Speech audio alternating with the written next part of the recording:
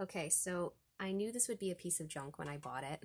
Um, but I work with kids and one of one of the kids I work he really he really loves music and so I saw this at Five Below and I was like, you know what? I mean, it's cute and you know, it's not going to sound great, but like eh, it might be kind of fun for him to mess around with and maybe I could teach him a few like really simple chords and then maybe that could inspire a love of music in him and then I mean, and not a love of music. He already loves music, but make him want to pursue learning instruments um, and all that. But after actually getting it and tuning it to the best of my ability, I'm not actually sure if I want to give this to a child, um, considering the kind of noise they can make even with good instruments. Because, um, yeah, I feel like even I was tuning it early and I'm just noticed, I think that they actually have the C string where the G string should be.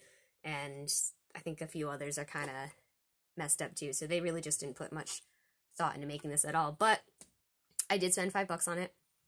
So I thought I might as well play it for you.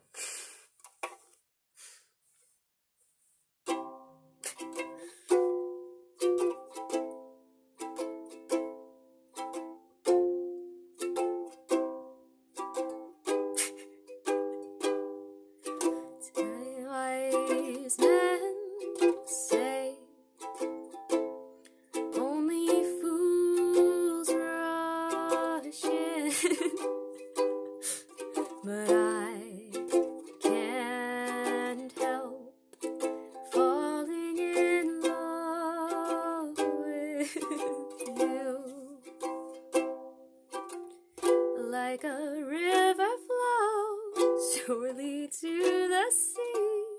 Darling, so it goes. Some things are meant to be.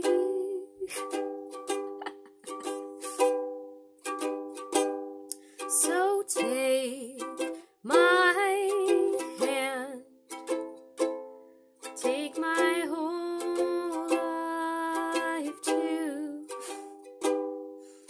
Right.